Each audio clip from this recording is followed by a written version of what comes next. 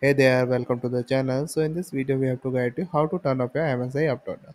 So there are two ways to turn off your MSI Afterburner. First is we have to disable this MSI Afterburner from starting automatically. So for this, you have to go into setting, click on this, and here you will see I am already unchecked my start with Windows.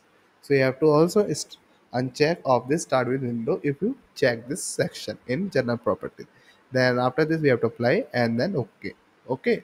So that's how this will work to turn off your MSI afterburner.